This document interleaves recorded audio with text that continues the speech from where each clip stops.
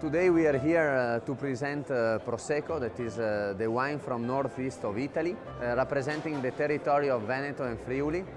The important thing to understand about this wine that is created with Charmat method, called also Martinotti method, that is the fermentation, it happens in the specific tank called autoclavi, where the wine take naturally the second fermentation and take the bubbles inside the wine.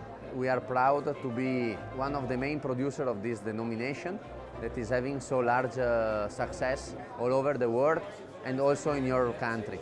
We are also selling other wines from our companies, still wines from Veneto region, and in the last year we also were able to introduce our champagne that is our, uh, let's say, best product.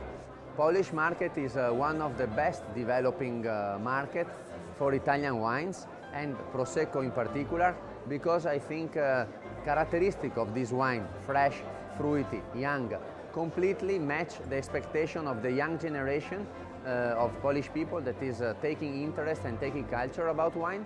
And there is a secret more. Uh, Prosecco is very appreciated from the woman. Woman makes the trend of the market and they are uh, loving our uh, Prosecco, our bubbles. And I think uh, uh, this is one of the reasons of the large success. Our collaboration with uh, Wine Avenue started uh, six years ago and we were one of the first suppliers for this uh, developing company in the Polish market.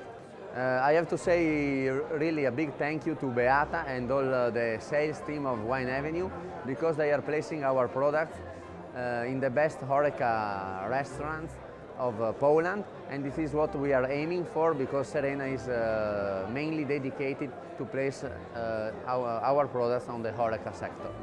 Dziękuję bardzo to all Poland. Thank you for the hospitality and do to next edition of uh, Wine Avenue event.